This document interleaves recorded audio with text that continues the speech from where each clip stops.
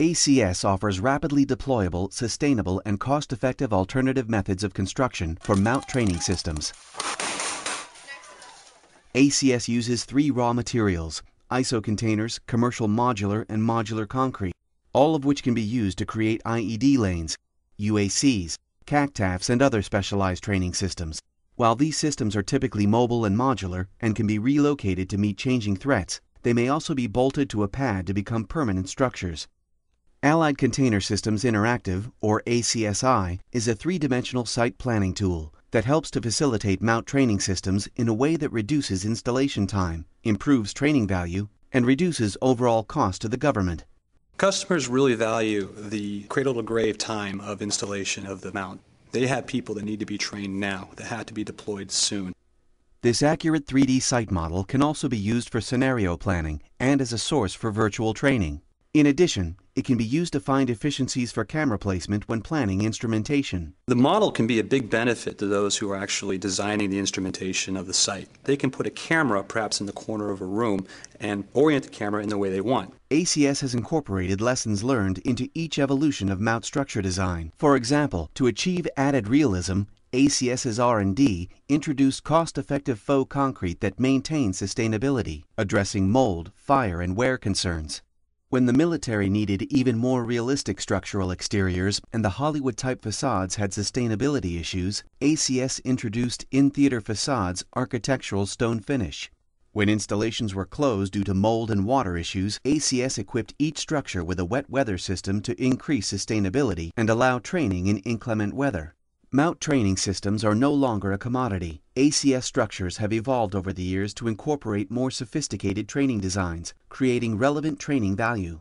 Every site that ACS designs involves close collaboration between cultural experts and designers and current military training personnel. When their trainers are jumping up and down and giving themselves high fives at the end of an ACSI session, the contracts people in the back of the room know they're getting their money's worth. When the military identified a need to train in structures with more open interior space, ACS designed and engineered structures that offered clear span, creating openings across several sequential containers. ACS training personnel who have experience in theater help to ensure that each building design and site layout facilitate the desired training. Full-time dedicated MOUT project managers, site managers, and installation teams bring specialized skills to installing these training systems. Many of these individuals have experience installing more than 200 MOUT structures.